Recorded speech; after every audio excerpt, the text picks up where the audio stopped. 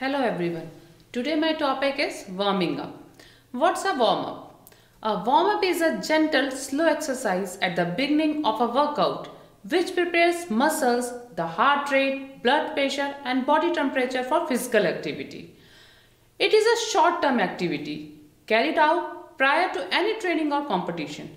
Through such a workout, we try to bring a group of muscles expected to take part in activity to follow. This is a set of exercises and movement which are performed before the competition. A proper warm-up can increase the blood flow to the working muscles. It's less injury, improved performance. Additional benefit of warming up include psychological and physiological preparation. It is two type. Psychological warming up and physiological warming up. Psychological warming up. It's prepare the mental attitude towards the competition it makes player mentally ready through various psychological ways like motivational speech, feedback of coach and behavioral changes of team. Physiological warming up. It prepares the body physiologically to take workload of physical stress of competition.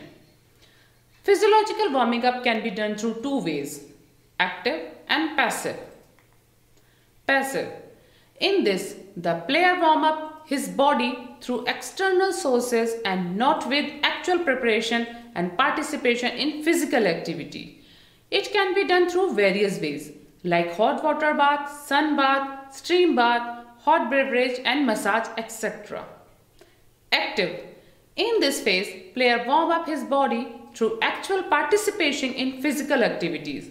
He performs various physical movement which improve efficiency of his body and tone up muscles for the competition.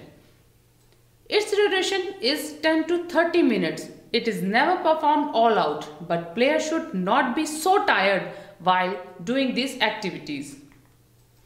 It is of two types, general warming up and specific warming up. General warming up.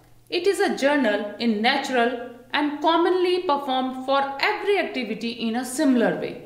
It consists of simple exercise like jogging or slow running, stretching, rotation exercise, calisthenic jumping, wind sprint, etc. This general warming up tone up and major muscles and improves the mobility of joint. It adjusts the circulatory and respiratory system according to coming needs. Specific warming up. It is of a specific type in nature it is different from activity to activity. It tones up the smaller muscles which are commonly used in that particular activity. It raises the mobility of smaller joints. This improves the eye and body coordination, but this the perfection in skill is improved. It actually prepares the body physically and mentally. The importance of a warming up and cool down. It is essential to warm up and cool down before and after any physical activity. The warm up and cool down can prevent injury and enhance the performance of player.